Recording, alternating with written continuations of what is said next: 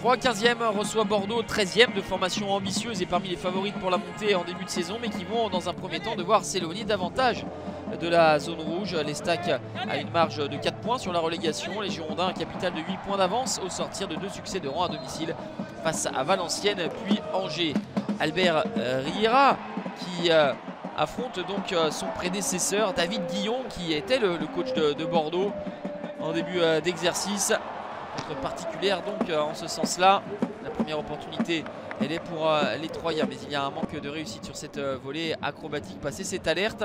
Bordeaux va sortir un petit peu de, sa léthargie et mettre à contribution de Gian Alemdar, le gardien turc qui avait été héroïque lors du, du dernier match avec un score nul et vierge à Caen.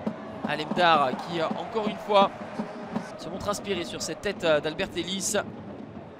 Du euh, gardien prêté par euh, le stade rennais. 0 à 0, c'est le score à la mi-temps. Les Stacks restent sur deux matchs euh, sans marquer et n'a pas eu pléthore d'occasions dans ce premier acte. Bordeaux reste sur trois victoires sur les quatre derniers matchs, soit autant que sur les 14 précédents.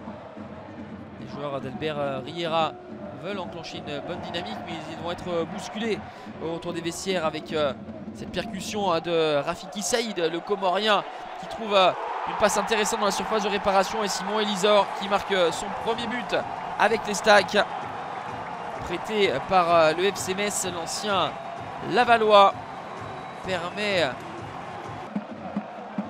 aux Troyens de virer en tête. La frappe appuyée pour tromper Calais Johnson Belle inspiration de Chavalrin qui s'efface et ouvre une brèche à Simon Elissor.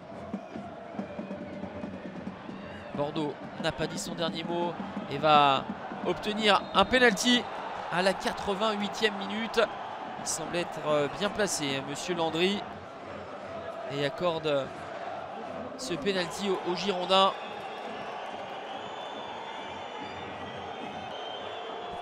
C'est le spécialiste en la matière, Johan Barbet, qui va faire face à Dogan Alemdar. C'est en force, c'est sous la barre transversale, plein axe. Quatrième but pour euh, Johan Barbet. Et Bordeaux euh, qui euh, égalise et se dirige vers un bon match nul.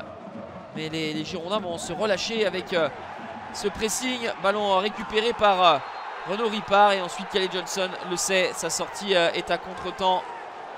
Dans l'espace de, quelques minutes, Monsieur Landry a sifflé un penalty pour Bordeaux, puis pour euh, les Troyens.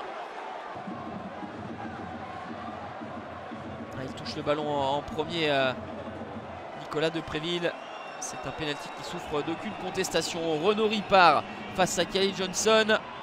C'est le contre-pied parfait. 2 buts 1 pour les Stacks et c'est la belle histoire de la soirée avec euh, le premier but après avoir été éloigné des terrains durant 10 mois pour blessure. Renaud Ripard qui va offrir le succès aux Troyens. Dernier coup franc ne donnera rien. Alemdar s'impose dans les airs. Fin de match animé au stade de l'Aube qui voit 3 15e s'imposer de buts 1. Une victoire qui éloigne les stacks de 4 longueurs de la zone rouge. Bordeaux un point devant et 13e avec cette deuxième défaite consécutive en déplacement.